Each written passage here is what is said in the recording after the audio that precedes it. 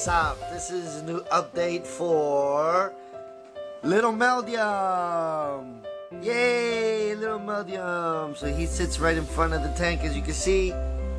And I think that the light penetrates throughout the whole skin and everything and he can see the reef light. And you can see, there he goes. You can see him moving. Getting all hyper in there. There he goes. Yeah, he's all hyper. Don't know if you can see him very clearly, but he there you go. He's moving all around. He's gonna be the new reef boy. He's loving it. And I can't wait for him to be born so that he can see the tank and get used to it and uh, teach him. You know, you got, we all gotta teach him. And uh, have little Meldium come out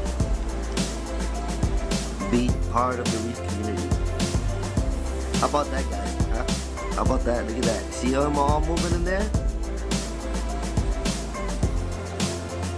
There he goes. He's very hyper, very active right now.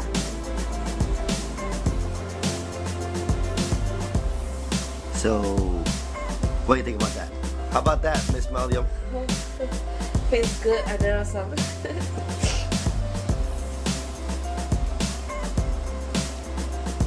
Yeah, I can't wait. Two more months and he'll be out. And he's gonna be looking at the tank, enjoying life. There he goes. What about that, huh, baby? Huh? High five to that? Come on, give me a high five.